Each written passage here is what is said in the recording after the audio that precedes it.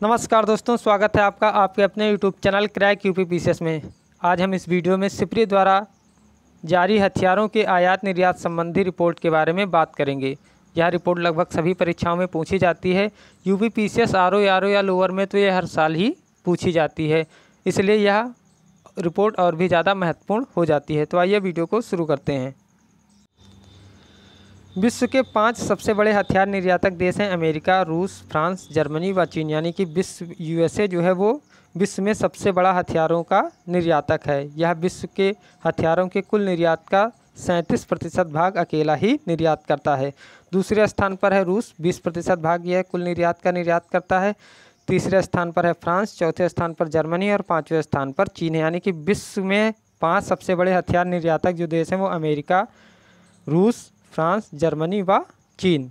फिर बात करते हैं विश्व के पाँच सबसे बड़े हथियार आयातक देश की तो संयुक्त अरब अमीरात यानी कि यूएई जो है, वो विश्व में हथियारों का सबसे बड़ा आयातक देश है। यह कुल हथियारों के विश्व में जितने भी हथियार आयात होते हैं, उसका ग्यारह प्रतिशत भाग अकेले ही आयात करता है। दूसरे स्थान पर है भारत, नौ दशमलव छः प्रतिशत। तीसरे स्थान पर है मिस्र, चौथे स्थान पर ऑस्ट्रेलिया और पाँचवें स्थान पर है चीन।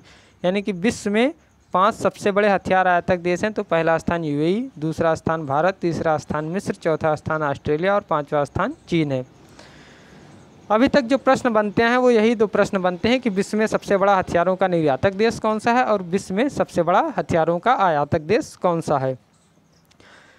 संयुक्त रूप से ये पाँच देश, यानी कि अमेरिका, रूस, फ्रांस, जर्मनी व चीन, देश कुल निर्यात का छिहत्तर प्रतिशत भाग हिस्सेदारी रखते हैं। जबकि आयात की बात करें तो संयुक्त रूप से ये पाँच देश, यानी कि यूएई, भारत, मिस्र, ऑस्ट्रेलिया व चीन, कुल आयात का छत्तीस प्रतिशत हिस्सेदारी रखते हैं।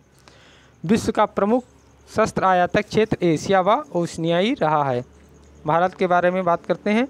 भारत विश्व का दूसरा सबसे बड़ा आयातक देश है। हथियार सबसे ज़्यादा दूसरे स्थान पर है, भारत खरीदता है। भारत में सर्वाधिक हथियारों की आपूर्ति करता है रूस, उनचास प्रतिशत भाग।